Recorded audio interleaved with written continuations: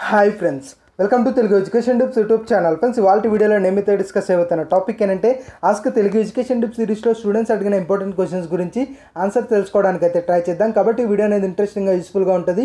పూర్తిగా చూడడానికి అయితే ట్రై చేయండి. ఇక టాపిక్ అయితే స్టార్ట్ చేసే ముందు నా చిన్న రిక్వెస్ట్ ఏంటంటే ఇప్పటివరకు మన తెలుగు ఎడ్యుకేషన్ టిప్స్ యూట్యూబ్ ఛానల్ని మీరు ఎవరైనా సబ్స్క్రైబ్ చేయకుండా చూస్తున్నట్టయితే మీకు యూస్ఫుల్ అయ్యే ఇలాంటి వీడియోస్ కోసం అయితే సబ్స్క్రైబ్ చేసుకోండి. ఫ్రెండ్స్ ఇక టాపిక్లో వచ్చేసినట్టయితే మెయిన్గా ఫస్ట్ కామెంట్ గమనించడానికి అయితే ట్రై చేద్దాం. మెయిన్గా అడుగుతున్నది ఏంటంటే ఏదైతే పాలిటెక్నిక్ గవర్నమెంట్ కాలేజ్ లో హాస్టల్స్ ఎప్పుడు ఓపెన్ చేస్తారంటున్నారు.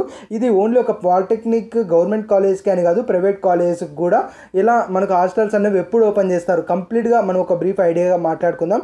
ఇక్కడ గుర్తుపెట్టుకోండి హాస్టల్స్ ఎప్పుడు ఓపెన్ చేస్తారు అంటే డెఫినెట్గా ఈ హాస్టల్స్ ఏవైతే ఉంటాయో వీటి రిలేటెడ్గా మనకి అడ్మిషన్స్ అనేవి స్లైట్లీ అయితే జరుగుతూ ఉంటాయన్నమాట.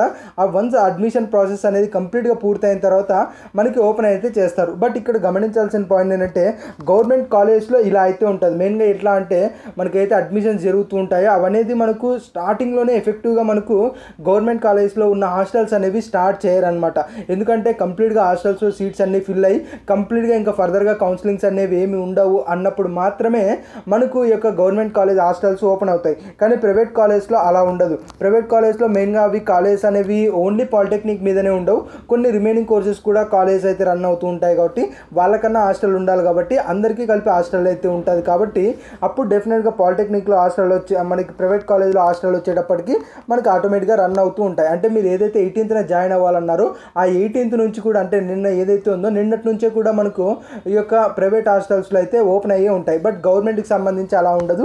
ఎందుకంటే గవర్నమెంట్లో ఎలా ఉంటుందంటే ఒక ఫ్యూ స్టూడెంట్స్ ఉన్నారంటే వాళ్ళ కోసం సపరేట్గా హాస్టల్ ఇచ్చేసి వాళ్ళకి మనకు ఇలా ఫుడ్ పెట్టడం అంటే మనకి ఇంకా స్టూడెంట్స్ అనేది రాకముందే కంప్లీట్గా హాస్టల్ అనేది ఓపెన్ అవ్వదు. మరి ఎప్పుడు ఓపెన్ అవుతుంది అంటే మనకైతే సెకండ్ కౌన్సిలింగ్ ఉంది కదా. సెకండ్ కౌన్సిలింగ్ అయిపోయిన తర్వాత మనకు సీట్స్ అనేవి ఒక డేట్ అయితే ఇచ్చేసి ఉంటారు కదా అలాట్మెంట్ లాస్ట్ డేట్ సబ్మిట్ చేయడానికి ఆ డేట్లో మీకు ఓపెన్ అవ్వడం అయితే జరుగుతాయన్నమాట. కాబట్టి గవర్నమెంట్ హాస్టల్స్ అయితే మేబీ ఆ డేట్లో మీకు అయితే ఓపెన్ అవ్వచ్చు. ఆ తర్వాత నెక్స్ట్ కామెంట్ గమనించడానికి అయితే ట్రై చేయండి. నేను అడుగుతున్నది ఏంటంటే ఏదైతే పాలిటెక్నిక్ వాళ్ళకి టెన్త్లో మనం అప్లై చేసిన అమ్మఒడి ల్యాప్టాప్ వస్తుందా? లేదంటే ఫీజు రింబర్మెంట్ వస్తుందా అంటున్నారు. ఇక్కడ గుర్తుపెట్టుకోండి ఏది వస్తుంది అని మనం ఎగ్జాక్ట్గా చెప్పలేం. ఇక్కడ ఫీజు రింబర్మెంట్కి అమ్మఒడికి మీరు లింక్ అయితే పెట్టకండి. అమ్మ ఒడి అనేది మెయిన్గా మనకు అది పర్సనల్గా ఇస్తుంది కాబట్టి అది సపరేట్గా పక్కన పెట్టేస్తే ఫీజు రింబర్మెంట్ అనేది అందరికీ వస్తుంది.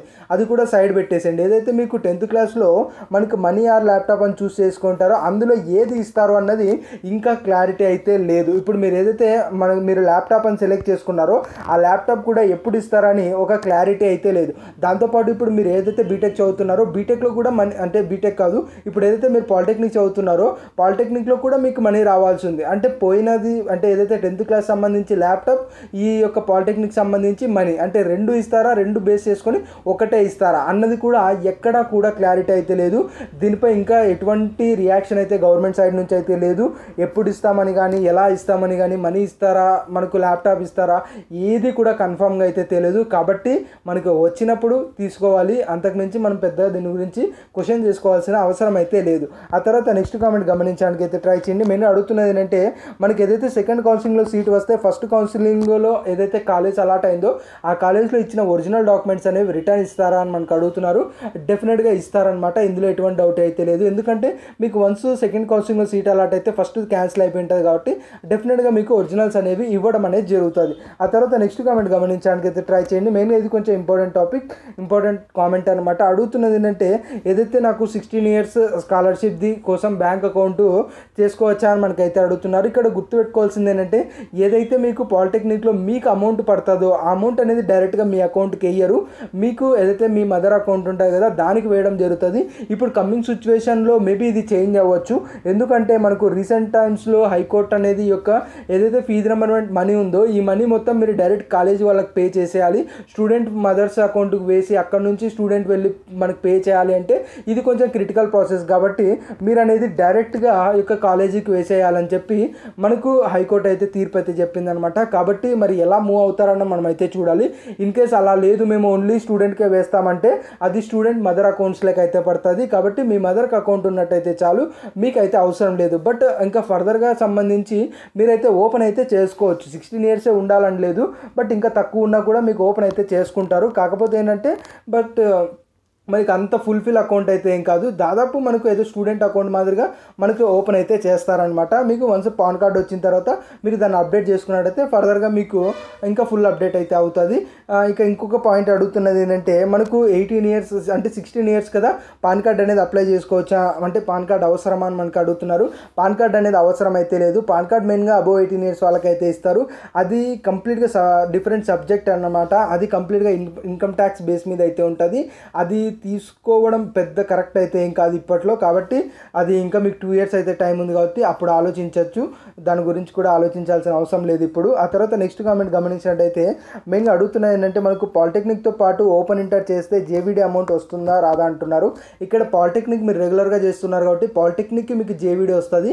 బట్ ఓపెన్ ఇంటర్ చేసే చేస్తున్నారు కాబట్టి ఆ ఓపెన్ ఇంటర్కి అయితే ఫీజు ఉందో అది మీరు ఓన్గా అయితే పే చేసుకోవాలి. దానికి ఎక్కడ జేవిడి అమౌంట్ ఇలాంటివి అయితే రావన్నమాట.